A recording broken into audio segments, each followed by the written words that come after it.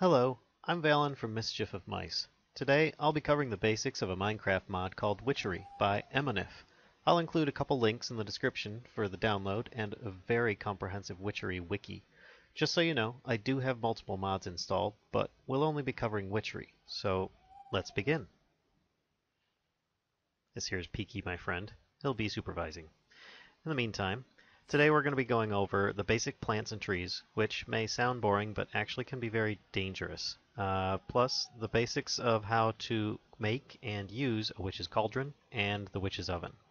So, to start off, you'll need to find some grass and punch it for seeds, just like you would wheat in normal vanilla Minecraft.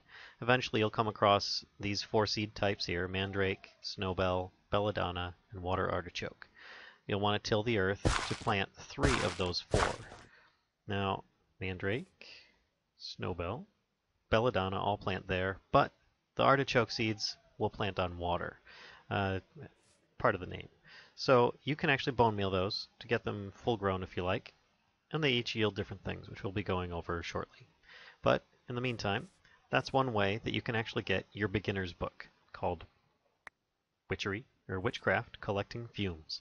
It's just a belladonna flower, which I just made one there, a book, ink sac, feather, and charcoal, not coal.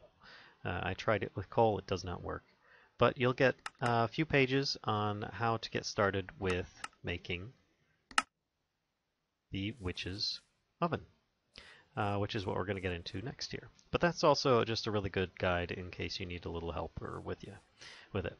So first thing you're going to need to use your witch's oven is going to be these little clay jars here soft clay jars. To make those, you're going to need four balls of clay in a crafting table like so, and you'll get four of these soft jars. Uh, then you'll have to just cook them in a furnace, and you'll end up getting uh, the regular clay jars.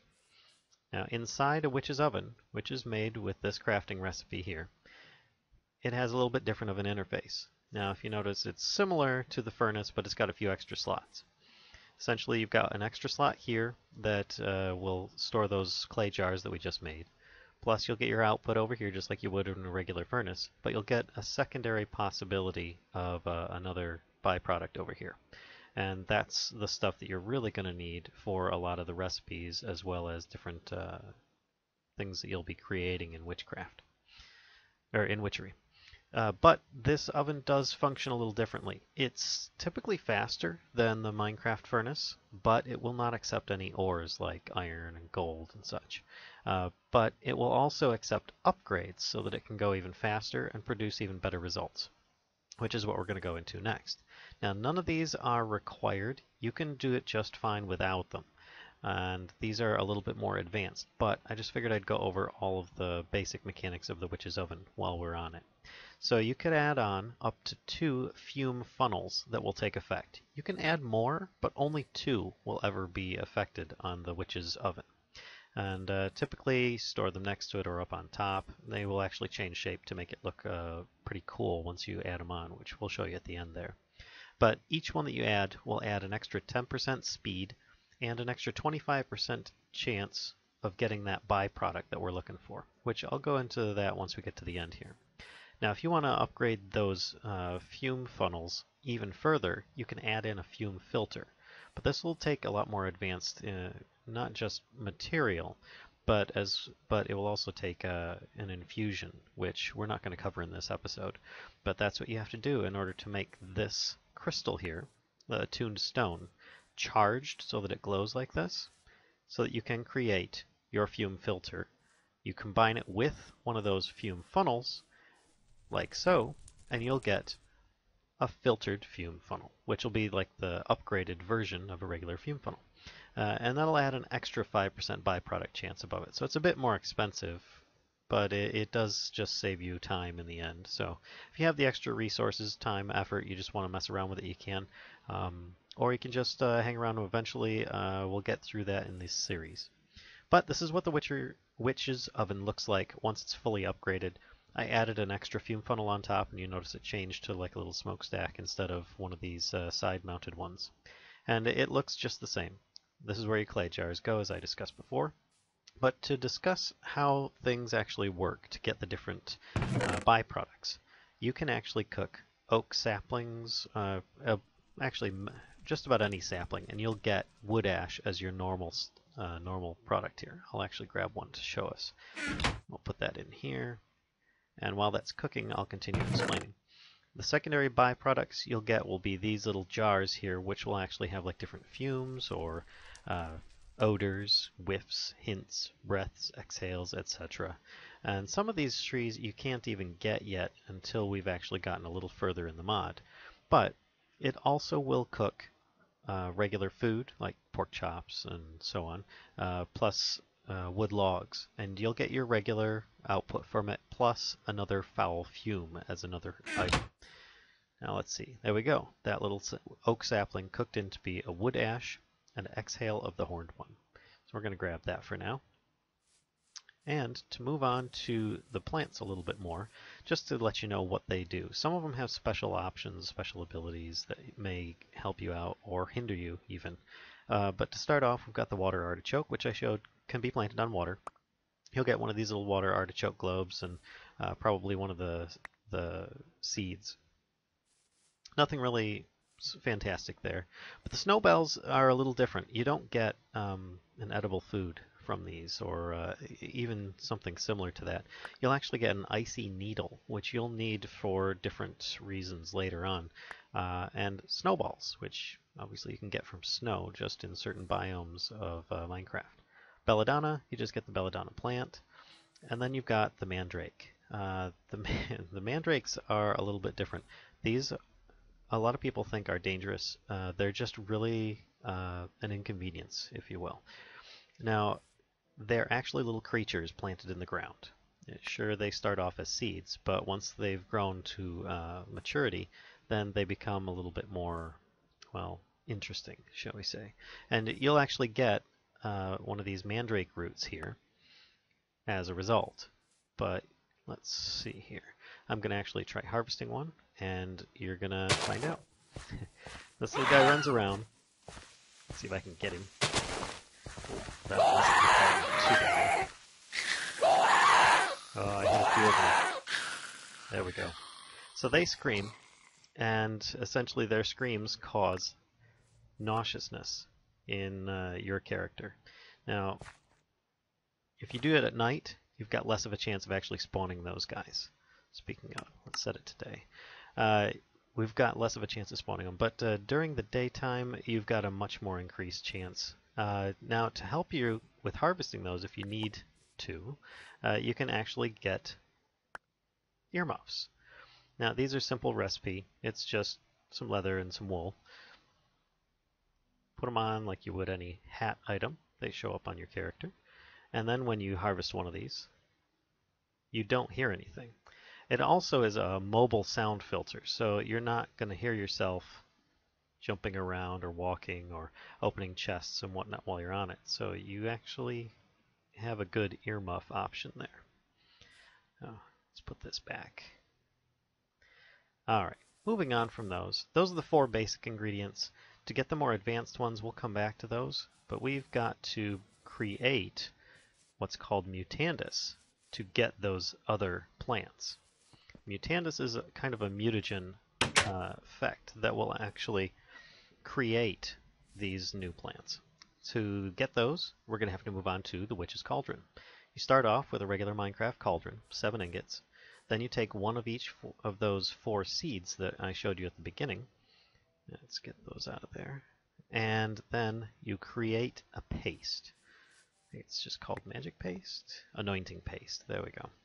Now, you'll want to set up a spot for your uh, Witch's Cauldron, which I've already got it prepared with some netherrack down here, and I'm going to light it. There we go. Then put your regular cauldron in place. Apply your anointing paste. And presto, you got yourself a Witch's Cauldron. Now you'll have to add yourself three buckets worth of water, or else it won't function properly. There are multiple ways it will accept pipes and stuff from other mods. Uh, there's also an enchanting way that you can use uh, with witchery, but that comes much later.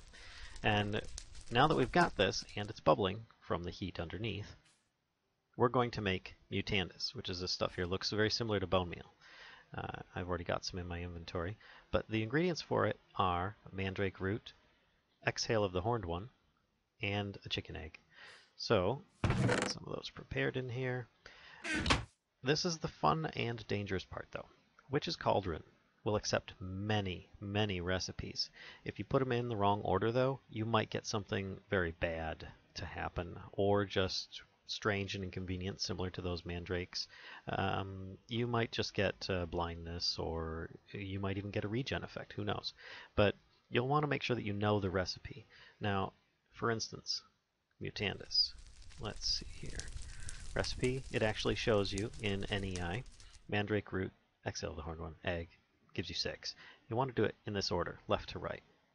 So, if I did it backwards, nothing happens because none of the recipes actually start with an egg, luckily. But in this case, I toss in the mandrake root. You'll see particle effects start happening. Exhale the long, the horned one, and egg. Now it'll take about five seconds or so while it changes, starts swirling, and when it starts swirling, you know that you've done something and it's about to take effect. In this case, Mutandis. Now what you're going to want to do is find yourself some grass or just similar small plants start using it on these things. And you'll get different saplings or items eventually. Ah, there we go. And uh, which I will go over here in just a moment. But uh, that's pretty much how you end up getting those. Now I'm going to show you the different types that you can get, as well as how to harvest them, because some of them are a little different than others. Alright, so we've got to start off with glintweed, which is safe. Then we've got ember moss, which is not safe. And then we've got Spanish moss, which is safe. All three of these actually spread. That's why I've got them down in this pit, so that they don't go all over the place. Um, in order to get more of them, you could keep using Mutandis, but as you saw, I ran through a bunch of them just to get one glintweed. But I recommend just putting one or two out in the big in a big open area, they'll start spreading. If you group a bunch together, they won't spread as much. So uh, the glintweed is probably the easiest. You can actually break it with your hand, pick it up, and it's fine. Now the ember moss is dangerous. It will set you on fire for a short time if you walk over it. So you could use it as traps if you want, but otherwise you would need a pair of shears to harvest them. There we go. And then there I've got it put that down and it can start spreading more over there and then I can start harvesting the extras as um, ingredients later on. Uh, also Spanish moss. It looks like Minecraft vines in a way, but you can't climb it. I have to jump out in order to get there. So you'll also need shears to harvest those. And there you go. But if you try harvesting it with your hand, it just breaks and disappears. Uh, if you want a book on the herbs and plants of witcher witchery, you could actually, you know, make one of these. It's really simple to make. It takes you into some of the more advanced ones as well as the more basic. But it's just a book, red poppy, dandelion, ink sac, and feather in the crafting table. Simple as that. Alright, now to get down to the trees, which I started making some saplings of earlier. Now I've got the Rowan sapling here. There we go. Uh, which is just this little twiggy, twiggy guy. He's uh, got white wood steps. You can make a door out of him. Then you've got your alderwood, which is uh, redder wood. Same thing. You can make a door and so on. Then you've got your Rowan, which is a little bit more decorative, has a few more options on it actually. Uh, it has a chance of dropping some Rowan berries, which if I had any hunger, I could actually eat it right now. It would give you about a half a meat pop for uh, your hunger, and it'll give you a whole lot of saturation so that you won't get hungry as quickly. But here's where the specialty stuff comes in. A Rowan wood door. If you craft a regular uh, Minecraft door with Rowan wood, which is a bit yellowy green, then you'll get one of these, which when I place it down, watch my inventory bar. It gave me a key. Anytime you place one down, it will give you a key, which then you can use to open the door. Just has to be in your inventory in order for it to work. If I don't have it in my inventory, let me put it here. I can't get in the door. I'm clicking right now and nothing's happening. Now, if I have the key in my inventory and break this, I get the door back, and when I place it down, watch, I'll get another key. There we go. Now you can actually put two keys together and make yourself a key ring. And it's basically bound, if you look at the uh, coordinates there, to that spot. We're not going to do that for now, though. We're just going to leave that here. Now, let's say I don't have one of these in my inventory, and I decide to, whoops, break this door anyway. Well, it just turns into sticks then. So, therefore, there's a little bit of property and ownership there, but it is just a regular wood door, so it's not really going to have that much effect. Now, there are some dangers to uh, harvesting trees, of which I'm going to take some of these and do an example out here. I'm going to plant a bunch of these saplings, and then I'm going to harvest, you know, just chop them down with my axe, which I brought with me, which is enchanted, by the way. It's just so I could use it as a weapon and for this purpose. Um, but what's going to happen is eventually I will find that there is what's called a treant may appear. Now, any of the uh, there we go. Any of these uh, witchery trees has a small chance of spawning one. You'll notice when you chop the wood, you'll hear a tone. It'll be like a bing, which I there we go. Actually, that was quick. There's one there, a treant, and he will get really upset. And he's got a really mean knockback effect. I recommend hiding under something short, so that, or behind something, so that he can't hit you. And uh, use an axe because if you use a sword, he's uh, actually a little more resilient to it.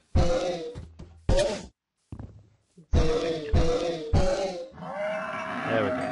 Now, if he dies, uh, he'll randomly spit out one of the witchery uh, saplings, most likely, as well as an ent twig if you're lucky. So, ent twigs, as we'll show, as I will show in a future episode, can be used as a witchery wand of sorts, and it can be upgraded and used in different ways. But uh, that's for another time. Anyway, uh, that about covers the basics on how to start witchery. I hope you found this helpful. Please feel free to like, comment, or subscribe. And I hope to see you in the next episode where we move a little deeper into witchery. See ya!